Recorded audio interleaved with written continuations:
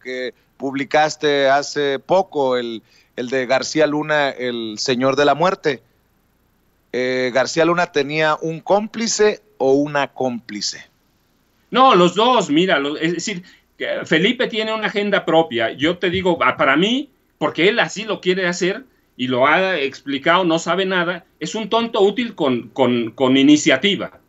Felipe es eso, porque así no, no sabe nada lo que pasó.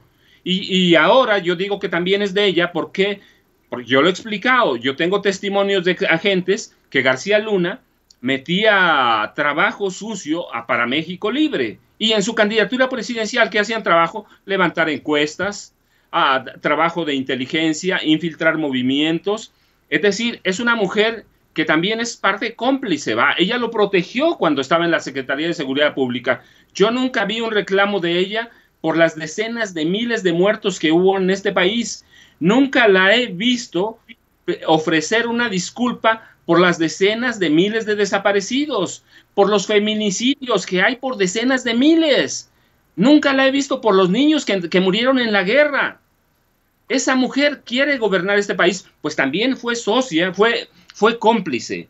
Si es lo que preguntas, fue cómplice de, de García Luna, pero claro que sí, como primera dama, ella pudo haber alzado la voz. No era un puesto, no es un puesto formal, no existe, pero la primera dama tiene una voz de influencia. Ella manejaba asuntos que podían afectar a la comunidad y era su obligación defenderlos. Nunca la, vi defender nada. La vida es segundo plano, así que no, yo digo en el libro y lo establezco claramente, eh, cuando abres el libro hay un árbol genealógico a donde vienen los cómplices de, y protectores de García Luna. Y el nombre de ella está ahí, y debe estar ahí. Eh, te pregunto.